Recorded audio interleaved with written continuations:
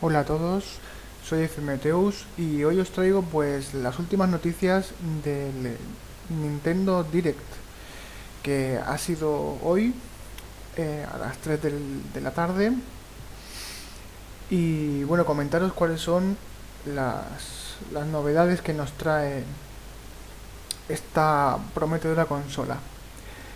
A ver, en principio, eh, para todos aquellos que la tengáis, os habréis dado cuenta que a la hora de tanto arrancar la consola como de movernos por los menús, eh, podríamos decir que de algún modo esperamos que fuera más ágil, eh, eh, esperamos un sistema pues acostumbrado pues, como Android.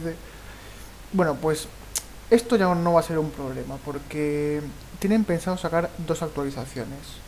En principio, una será en primavera, que justamente eh, tratará el, arranque de la consola y lo volverá notablemente más rápido, al menos eso es lo que han prometido. Y la otra eh, actualización será en verano y ahí optimizarán la velocidad de los menús y de, los arranques de las aplicaciones y los juegos. La verdad que eso mm, promete mucho, promete mucho, ya que a veces se vuelve algo tosco cuando uno está jugando y quiere volver al menú o cambiar de juego, pues las esperas son algo, algo engorrosas. Eh, por otro lado, han hablado sobre la máquina virtual que se estaba rumoreando últimamente y han aclarado un poco, un poco las cosas. Eh, dicen que va a llegar eh, la función de Off TV, o sea que vas a poder jugar en el propio Gamepad a los títulos que, que ellos vayan sacando. En principio se sabe que van a sacar títulos de la Super Nintendo, de la Nintendo y de la Game Boy Advance. Eh, todos ellos a, a 30 céntimos la unidad. Para, para la gente que sienta nostalgia por aquellos juegos que jugaba cuando era pequeño, pues quizás sea una gran noticia. Eh, también han comentado que en primavera de este mismo año van a eh, crear una aplicación para smartphones del Wii Universe. Eh, y bueno, eso también la verdad que puede, puede venirnos muy bien, ya que estaremos al tanto de cuál es el estado de nuestra cuenta en cualquier parte.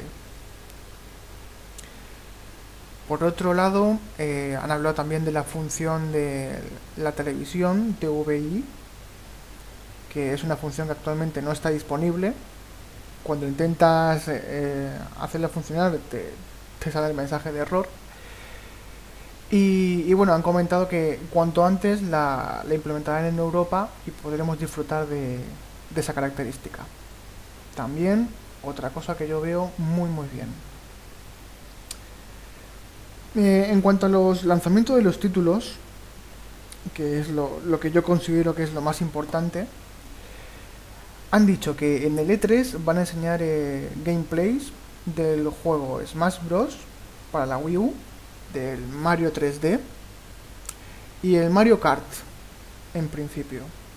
Todos para la, Wii U, así que veremos las nuevas versiones de, estos clásicos. Y han comentado también que aparte de bueno del, del lanzamiento del Zelda que ya se vieron imágenes en el en el E3 pasado van a hacer un remake del Zelda Wind Waker. Se espera que su salida sea para otoño. Eh, esto también, la verdad es que puede puede ser una gran noticia, sobre todo para los fans de Zelda, ya que es considerado uno de los, de los mejores, a menos para mí sí que lo es. Eh, por cierto, dejo eh, imágenes de, de lo que se ha enseñado en la descripción del vídeo, así que si queréis echar un ojo, lo tenéis por ahí, por ahí abajo. El que a mí más me ha llamado la atención en cuanto a los lanzamientos es un juego de los creadores del Xenoblade que al parecer se llama X, solo X. Y, bueno, he visto las imágenes que han publicado y realmente mm, parece prometedor porque pone a prueba la máquina de, Nintendo, diría yo. Aunque también me ha parecido eh, bastante similar a el Final Fantasy 13 o 13.2. Bueno, dejo que juzguéis vosotros. También dejo el, en la descripción el enlace para que podáis ver las imágenes. Y bueno, si queréis comentar, por mí encantado de saber vuestras opiniones. Y bueno, en principio, eh, solo quería comentaros eso, para que estéis al día. Y muchas gracias por, por ver el vídeo y hasta pronto.